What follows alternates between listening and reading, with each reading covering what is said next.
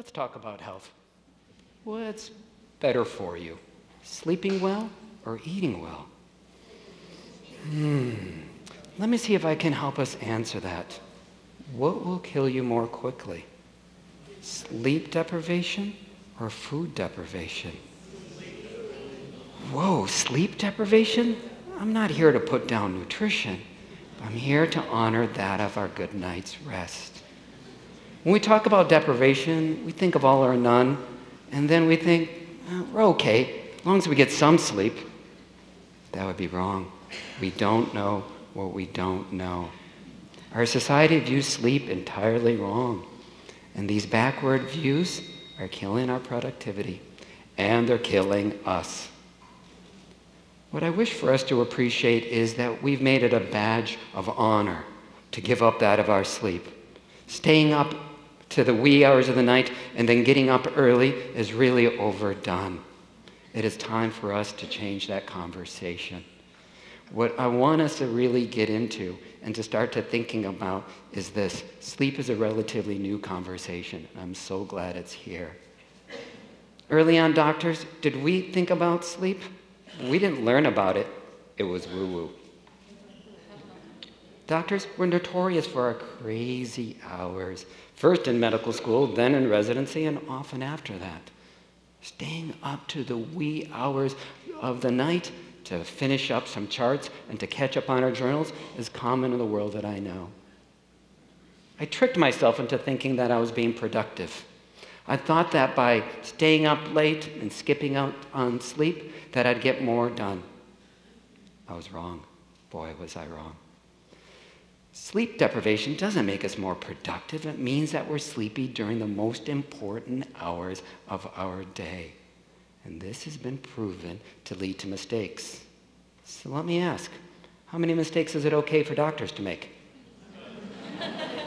None. And this accepted lack of sleep is hurting our bodies and it's ruining our health.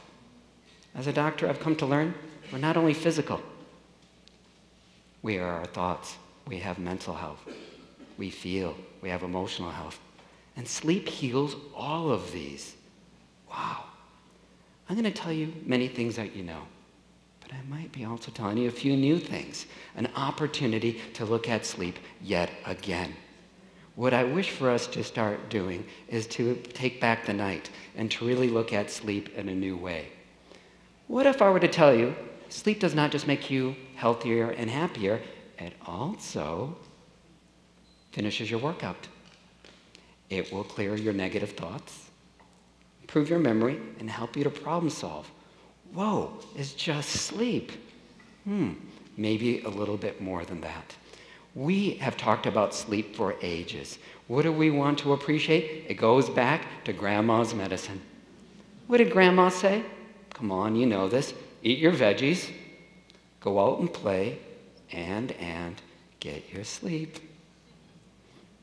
We have forgotten grandma's wisdom. We have taken an opportunity to think we know more since we're adults. We're wrong, though.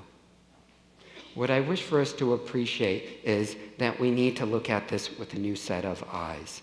What we want to really do here is to understand that we've all have heard that seven to nine hours of sleep is what we need. Call it eight. But it's not enough just to talk about getting enough sleep. That's not enough. We need to also talk about quality of sleep. All we need to do to understand this is to look at the best sleepers. My friends, let's set the stage. When were we the best sleepers? Babies? No. Teenagers. They're the rock stars of sleep. And don't let anyone tell you any different. You and I were once that teenager, and we slept better back then. So, what do teenagers do? They get to sleep, they stay asleep. Have any of you tried to wake up a teenager before they're ready? Should have just left them be. Fussy. They have a special chemistry. We all have had this special chemistry. But as we get older, it becomes a little bit more difficult. We lose out not just on quantity, but also on that of our quality. Here's the awkward thing Some of us don't know because this happens slowly. We get used to it, we suck it up. Some of us don't know how sleepy we are. So let's see if this is the case. My friends, let's take a look at this. More or less, what I want us to do is to really understand sleep. First and foremost, sleep is famously known by what? Its stages. So we go from being awake and then into either light sleep, deep sleep, or that of dreams. Now, light sleep is healthy sleep, but just getting light sleep, we don't feel so great. So we need to get to the stars of the show. We need to talk about deep sleep and dream sleep. That's really going to be the emphasis here. In order to understand this, this is the magic of our teenage sleep. To unveil this magic, to know the secret, we have to look at the first half of the night and then the second half of the night. My friends, what do you and I see more of there in the first half of the night? Deep sleep. What goes on during deep sleep? You and I put out growth hormone and proteins that repair us. This is a billion dollar industry and it's within us every single night. Pro athletes are taking sleep to go to the next level. So if you've worked out and you're feeling a few muscles you haven't felt in a while, you and I want to get our sleep. It's going to finish your workout. This is going to be doing that of what? Deep sleep is what? Physical repair. So cool. Now, let's look to the second half of the night. What do you see more of in the second half of the night? Dreams. Now, what goes on during dreams? Something really interesting. In your brain, an area called the limbic system. What does that do? It opens up and clears out the negative thoughts and emotions from the day you just lived. Think of it this way the guy who cut you off, somebody who said something quite rude to you, negative thought that we just can't let go of? What do people tell us? Ah, come on, dude. Get over it. Move on. Yeah, right. Not so easy. What I want us to really do and to appreciate is that, right? EQ. What? In the 1990s, we started talking about this thing called emotional quotient. Simply put, until we're emotionally clear, we cannot connect to ourselves. Until we connect to ourselves, we cannot connect to others. This is so important for our relationships and in for business and everything in between. In the world that I grew up in and the world that I know, I wasn't encouraged to talk about my emotions. In the hospital, we shied away from this. Who let an emotion loose? Oh, we got pills for that. Awkward, slightly true. If you and I don't make time for emotions, our sleep will. We do emotional clearing. How cool is that? Now, wait, wait, let me not miss something else that's really cool. What else does our deep sleep and our dream sleep do for us? Here it is memory and problem solving.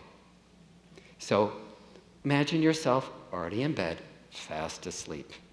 And the first half of the night, again, that of our deep sleep, here's what the conversation is going on it's a picture, a panorama of the day you just lived.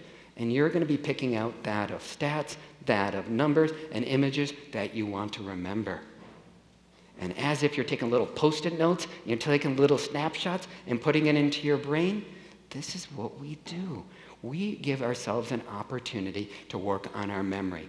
Whether you feel that your memory is slipped or not, all of us want to have a robust memory. Now, wait, it gets even better. All those little post it notes, all those little images, hold on to them, and let's now go to our dream sleep. And now, what we're going to do with all these stacks of images and facts, we are going to make connections between them that now were more or less fed to us, spoon fed to us, connected for us during the day we just lived. And as if we have a file cabinet, remembering all those old thoughts and ideas, we're going to connect the previous with that of the new. So, what do we call that when we make connections that were not made for us? We call that problem solving, creativity. Whoa, how cool is that? Do any of us want to give up on this deep sleep? Do any of us want to give up on this dream sleep? This is that physical repair, emotional clearing, that memory work, and problem solving. And again, many of us just don't know how sleepy we are.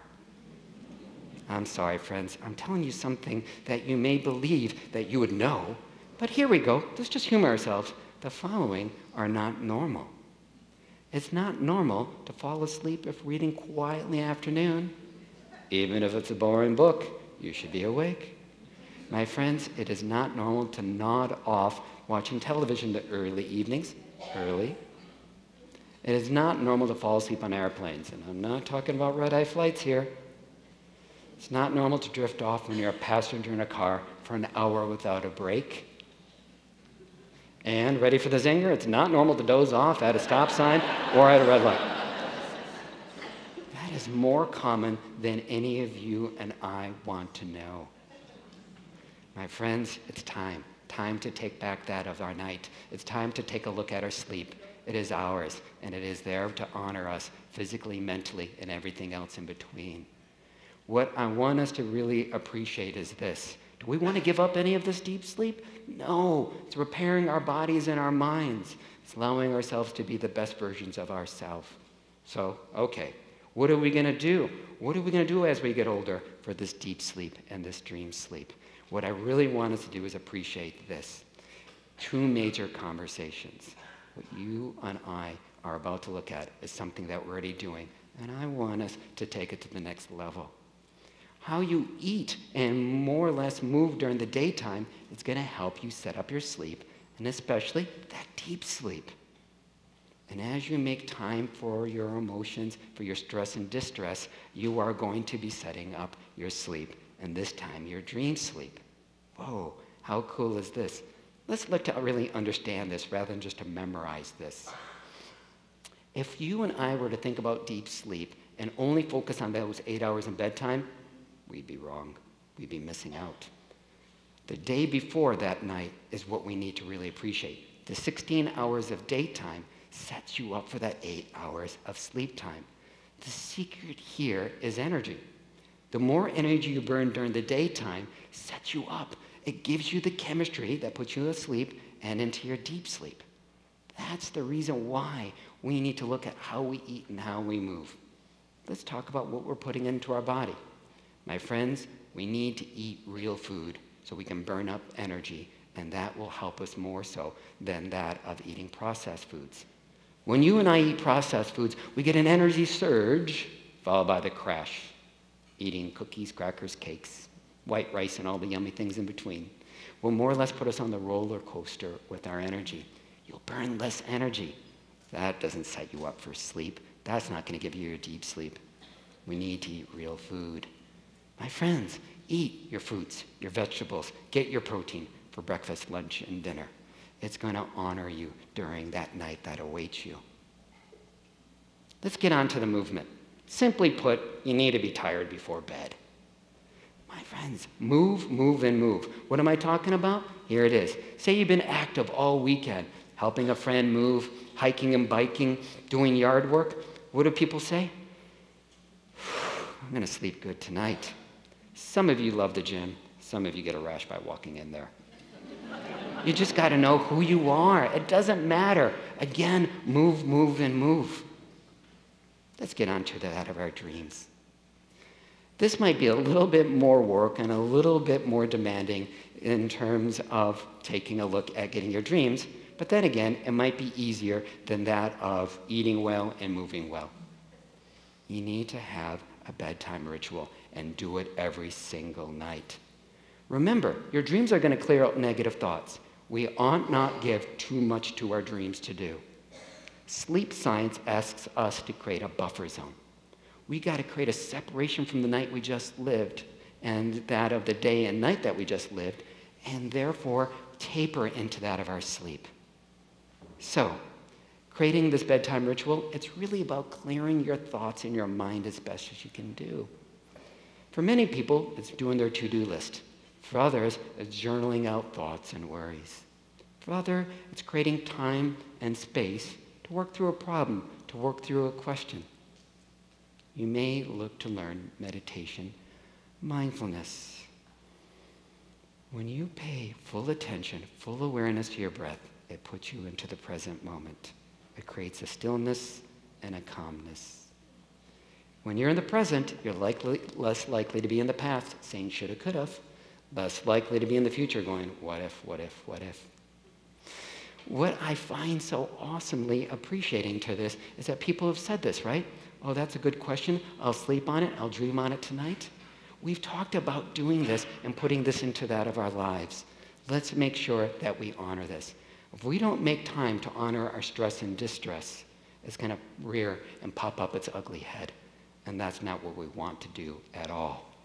My friends, this deep sleep and this dream sleep, that physical repair, that emotional clearing on your memories, and also getting that of an opportunity to make those connections. It was asked of me long ago, what should we be doing when you learned all about this on sleep?